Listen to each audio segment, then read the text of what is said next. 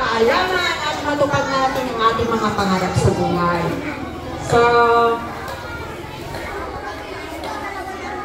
Sige ma'am, tuloy mo na ma'am. before we go to the most awaited part of this uh, program, may we start with an opening prayer to be to us by Madam Maria Teresa B. Bukat.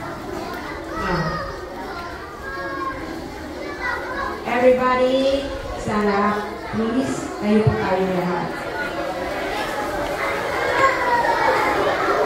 Wala po mag-ingay. Wala po mag-ingay, please.